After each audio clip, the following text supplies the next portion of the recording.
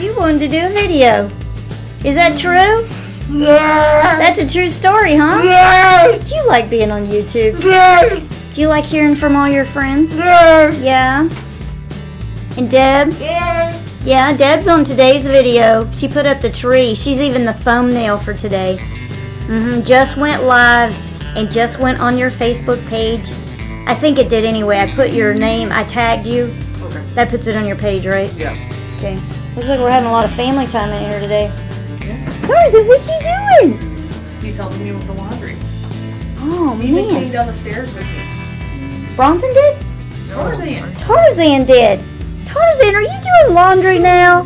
Man, we have trained you well in the last 12 months.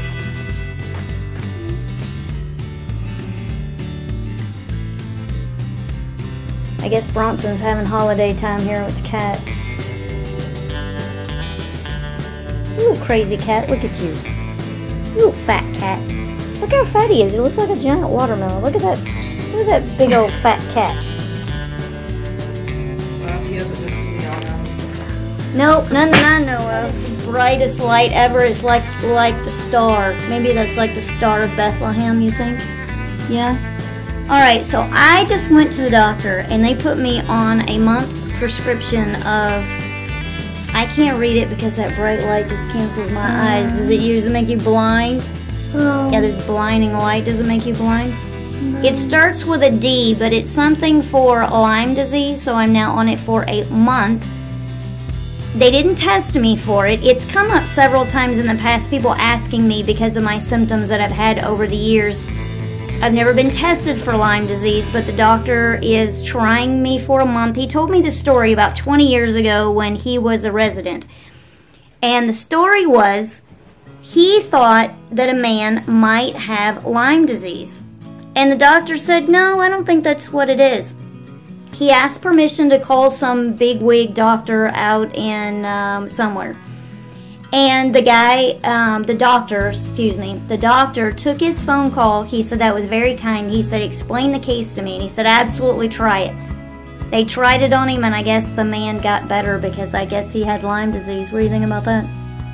Yeah, you get Lyme disease if you're not familiar. You get it, it's most commonly known from getting Lyme disease from a tick bite, which I haven't had any. any. Um, you can also get it if you've been bitten by a mosquito. Sometimes they they it um, they can be a carrier of it. My current symptoms are I feel like I have the flu. I don't feel well. I feel really run down. I am not getting anything done around the house. Um, it's giving me a headache. I have headaches a lot anyway, but I can tell these headaches these headaches appear to be to me related to not feeling well and my throat keeps swelling up. I took an antibiotic a couple of weeks ago. My throat got better. I got better. It didn't last very long and then the symptoms have creeped up and up and up until the week of Christmas I went to the doctor. So that is today's news. Do you have anything you want to tell anybody? You want to tell your friends anything? Oh. No? Okay, let me make sure I got the camera on you. And wave.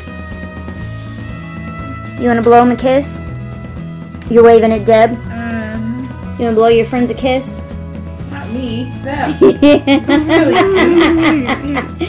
These are all your friends behind this bright light that you're looking at. Oh, Tarzan's getting in your closet. Tarzan, what are you doing? What are you doing, Tarzan? What are you doing, Tarzan?